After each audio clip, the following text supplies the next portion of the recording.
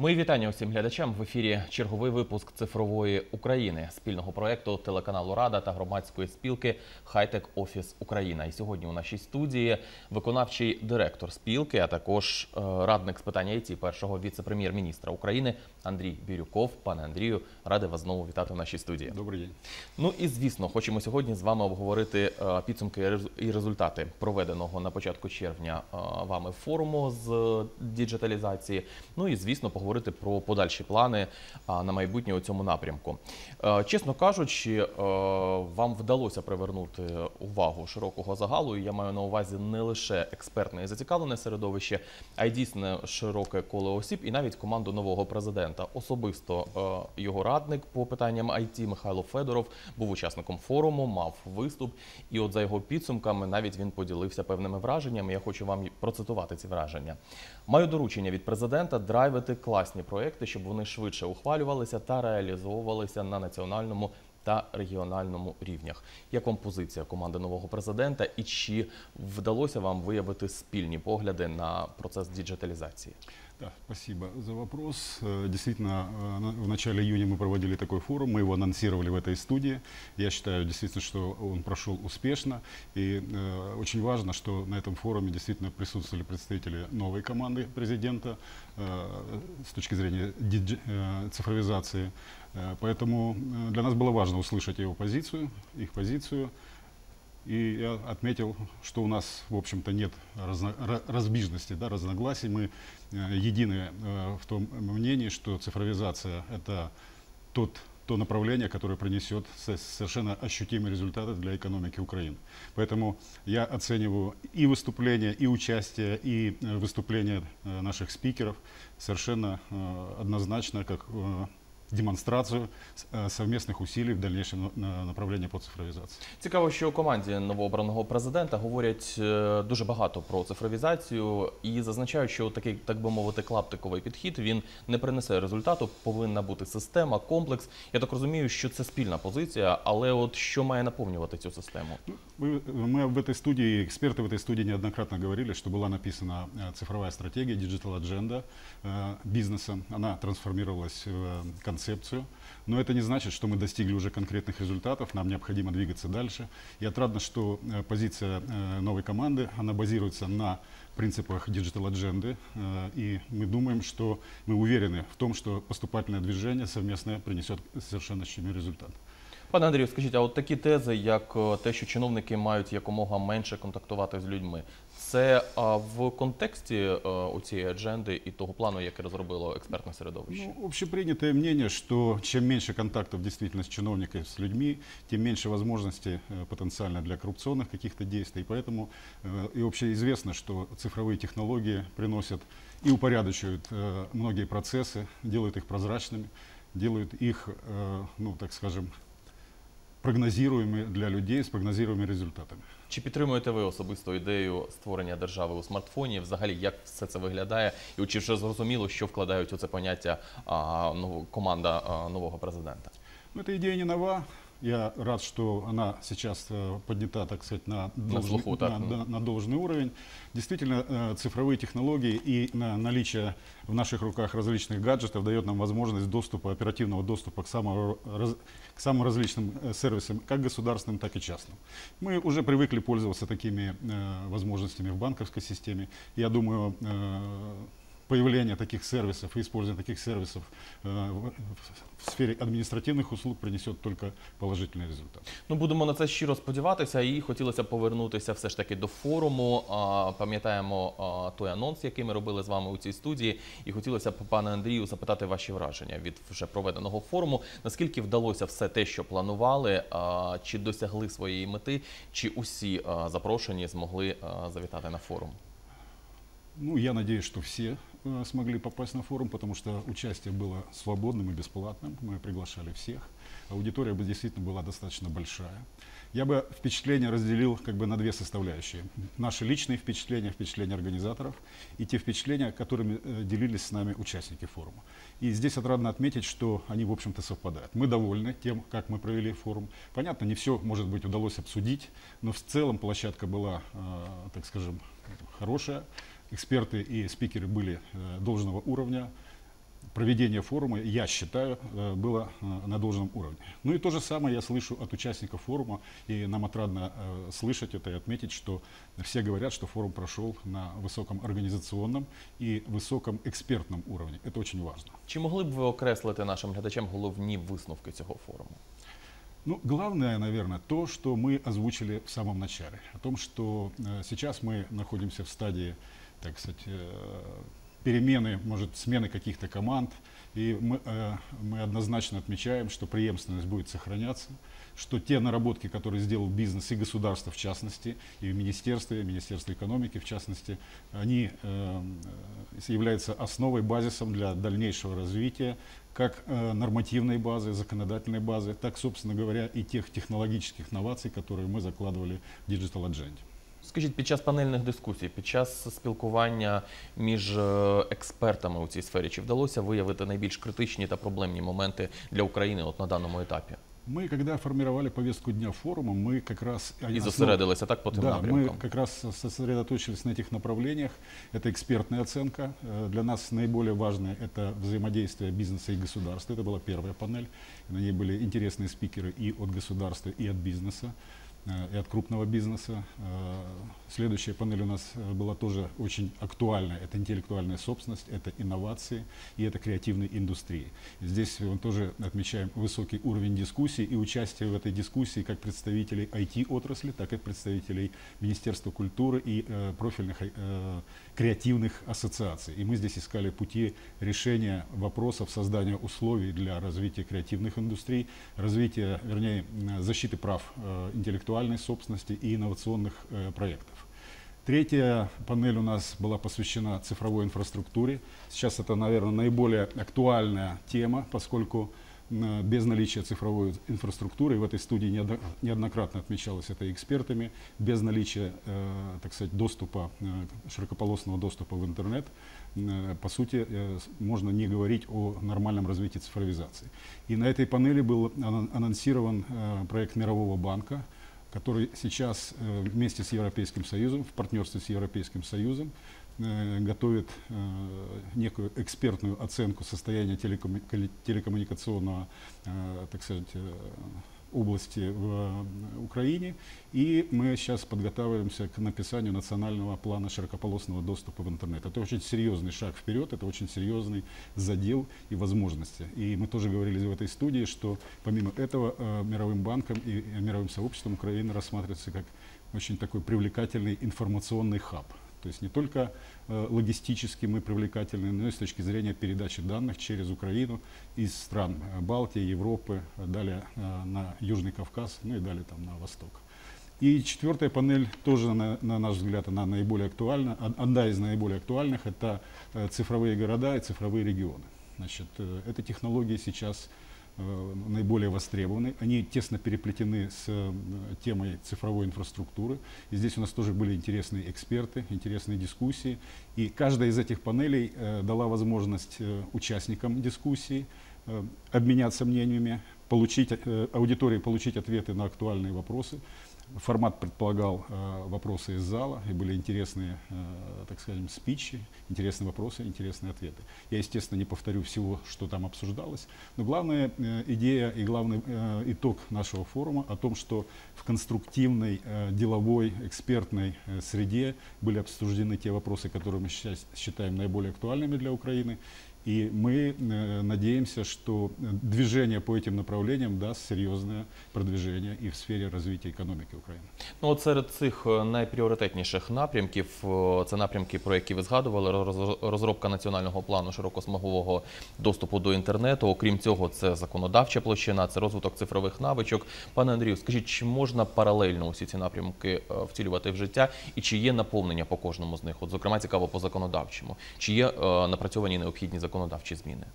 Да, сейчас нами, я уже тоже говорил об этом в студии, э, нами подготовлены, нами экспертными, э, экспертами в этой области подготовлены проекты законодательных актов, таких как проект закона о цифровой экономике, И мы говорили о том, что, э, возможно, он трансформируется в цифровой кодекс. Посмотрим, как будет развиваться э, событие.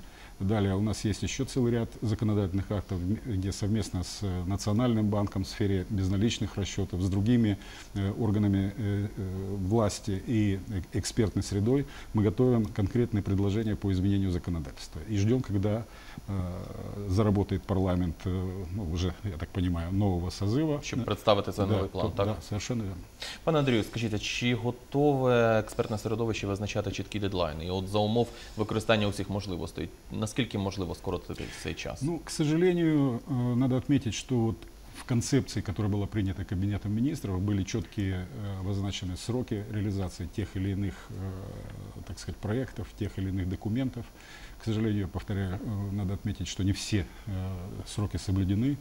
Э, Что-то все-таки сделано вовремя, что-то сделано позже, что-то пока еще не сделано. Хотя наша концепция рассчитана до 2020 года. 2020 год не за горами. Но я думаю, мы как раз совместно и подкорректируем эти планы. И э, вы правы, здесь надо ставить четкие сроки, четкие дедлайны, придерживаться их. И, э, собственно говоря, это и дает тогда поступательное прогнозируемое движение по исполнению э, наших планов. Пане Андрію, скажіть, а на кому відповідальність? Тому що завдань дуже багато. Тут усі мають е, наполегливо працювати. Але з кого потім спитати за результат? Чи є головний той драйвер? К сожалению, у нас э, в Украине тоже это отмечалось неогра- неоднократно. Нет э, ответственного, я бы сказал так, за цифровизацию. Значит, э, должен быть какой-то либо орган исполнительной власти, либо какой-то совещательный э, орган. э, Тобто на рівні где- виконавчої влади, так м, кабінету міністрів. о, Совершенно верно. Э, Идут разные э, высказывания, мнения о том, что это должен быть за орган, должен ли это быть отдельный чиновник с каким-то офисом, с какой-то э, переходящей ответственностью из э, каденции в каденцию Кабмина там, или Верховной Рады. Разные существуют мнения, это дискуссия. Я рад, что эта дискуссия сейчас уже поднята на уровень, э, так сказать, руководителей э, центральных органов власти и президента. Э, Поэтому я думаю, мы найдем оптимальное решение. Есть примеры решения таких задач в других странах. Значит, э, надо основываться на передовом опыте, но э, без действительно ответственных людей, без тех, кто наделен и полномочиями, и несет ответственность за исполнение каких, э, каких-то планов и результатов, к сожалению, двигаться э, дальше будет сложно. Без такого органу, без такої посади м, синергії між державою, бізнесом та суспільством можливо досягти? Вы знаете, как раз вот здесь недостатков синергии я не вижу. Э, Вот последние Бо є го- спільна мета, так, яка об'єднує. Да, да, да. В последнее как раз время, в последние годы наметилось такое конструктивное взаимодействие между общественными организациями, мы как общественная организация это ощущаем, профильными ассоциациями, бизнесом, экспертом. Что важно сейчас для нас, э, если говорить о перспективах, это включенность в эти процессы еще и международных организаций, финансовых организаций, э, таких э, как Мировой банк, Европейский банк реконструкции и развития. И мы сейчас чувствуем заинтересованность в развитии цифровых технологий именно со стороны этих э, структур. А что касается, повторяю, синергии э, на, так скажем, горизонтальном уровне, повторяю, она сформировалась во многом, Не- да, она далеко не идеально, но э, дальше идет просто уже развитие этой ситуации, и э, мы понимаем, как это нужно делать. Я бы хотел немножко остановиться все-таки на э, включенности сейчас э, международных э, организаций, если позволите. Так, звісно, я якраз і хотів перейти до того, е, які у вас плани на новий етап. От після проведення форуму певної такої риски між тим, що було зроблено, і між е, новим етапом. От на яких пріоритетних напрямках, зокрема хай-тек офіс, ваші зусилля, зусилля експертного середовища будуть зосереджені?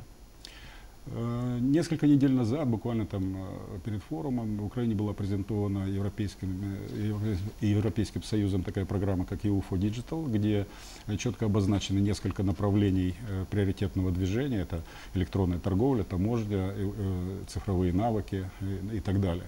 И э, здесь э, надо отметить, что старт этой программы дает серьезные основания полагать э, о том, что у нас есть все возможности интеграции в европейские цифровые рынки. И в этом направлении э, пошла серьезная э, э, работа. И сейчас проводятся соответствующие э, форумы, круглые столы. Э, Мы чувствуем э, заинтересованность со стороны европейских и мировых структур и, возможно, финансирование подобных работ. Это и дает э, основания для оптимизма. Скажіть, чи потрібно Україні от в цьому контексті наслідувати чийсь конкретний е, досвід? Приміром, тієї ж Естонії, наприклад, чи навпаки, наші реалії е, це е, ну ми маємо використовувати якісь, звісно, кращі практики, але створювати свій шлях. Ну, конечно, напрямую копировать опыт Эстонии или других стран, э, даже самых передовых, наверное, э, не- нет смысла. Різні і стартові умови, так і базові. Да, і, і естественно, таке нужно учитывать их опыт, нужно привлекать специалистов э, из разных стран, э, Но э, работа должна основываться на наших реалиях. Э, Мы должны понимать специфику наших э, законодательной э, базы, специфику наших взаимоотношений между э, бизнесом и государством, и где-то корректировать, использовать э, спектр э, уже, так сказать, решенных в разных странах задач достаточно широк, надо брать, как вы правильно говорите, лучшие практики и их внедрять. Скажіть, згаданий вами Європейський Союз і європейська практика. Наскільки ЄС виступає е, в процесі діджиталізації для України рівноправним партнером? Чи все ж таки єС з огляду на його рівень це старший брат, за яким ми постійно маємо поспішати і наздоганяти? Ну, наверное, да, правильное сравнение, пока старший брат. Э, ну, У нас есть очень хороший формат э, э, стран восточного партнерства. Это такие страны, как Беларусь, Молдова, Украина.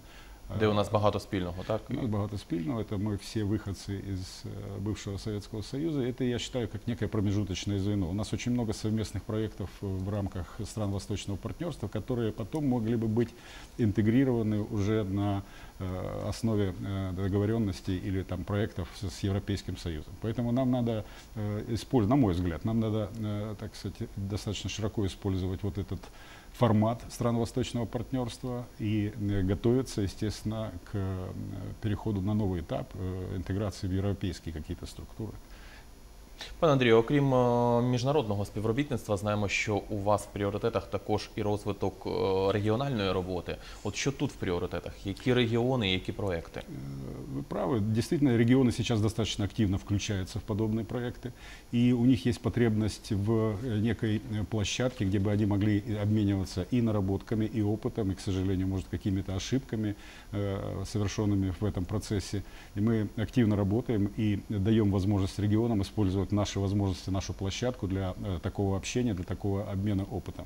Я бы э, отметил совершенно конкретные регионы, где идет э, достаточно интенсивная работа по тем или иным проектам. Не везде они, так сказать, одинаковые, не везде выбраны одинаковые направления, но желание местных органов властей это очень важно, и желание поддержать подобные проекты. Это такие регионы, как Сумская область, Тернопольская область, Херсонская область. Значит, э, мы знаем, что активная работа идет э, в Днепре, ну, естественно, Киев, как столица имеет очень большой потенциал по э, да- данному направлению. И вот как раз на панели э, э, в рамках форума, где мы обсуждали цифровые регионы, был обмен мнениями и был обмен опытом. Присутствовали представители киевской администрации, и на форуме присутствовали представители, ну, в частности, перечисленных мною областей, были оживленные дискуссии. И мы в ближайшее время планируем собрать э, вот такие активные регионы э, для э, проведения некого такого э, я бы сказал, круглого стола, на котором бы мы смогли синхронизировать усилия регионов, дать им возможность об- обсудить это уже и наметить совместные какие-то планы. Пане Андрію, підсумовуючи, от хотілося б почути, наскільки от ваші сьогодні відчуття сьогоднішньої як політичної ситуації, так і в цілому, чи у вас відчуття, що ми на порозі нового етапу? Адже вже у вересні у Верховній Раді збереться новий депутатський корпус. Це по суті буде вже повністю перезавантажена влада в Україні. Це прибудуть люди молоді, амбітні з огляду на запит суспільства. Це люди будуть прогресивні. От чи може це означати, що от в питаннях цифровізації е, ми побачимо якісно новий етап, де швидкими темпами все те, що про що ми з вами говоримо, буде втілюватися в життя. Ну, мне кажется, это объективно. Э, В любом случае, э, и обновление состава Верховной Рады и других органов власти приходят люди, люди с амбициями приходят, и люди с желанием показать себя ну, буквально сразу. Э, И э, по э, тому э, информационному полю, которое мы сейчас видим, э, вопросы цифровизации на слуху, они э, обсуждаются как наиболее приоритетные, и создание условий для развития IT-индустрии, разработки программной продукции, для раз- ра- развития телеком и других э, сфер э, цифровой экономики. Э, И это вселяет надежды, что действительно э, это будет приоритетным, э, я бы сказал, не одним из приоритетных, а приоритетным направлением развития экономики. Будемо дійсно на це сподіватися. Вам бажаю успіху і е, максимальної от, злагодженості і синергії між усіма зацікавленими сторонами. Ми завжди раді і відкриті для співробітництва. Дякую вам. Большое спасибо. Андрій Бірюков, радник з питання ІТ першого віце-прем'єр-міністра України, виконавчий директор громадської організації Хайтек Офіс Україна, був гостем нашого ефіру. Це була цифрова Україна. Дякую за увагу і до наступної зустрічі.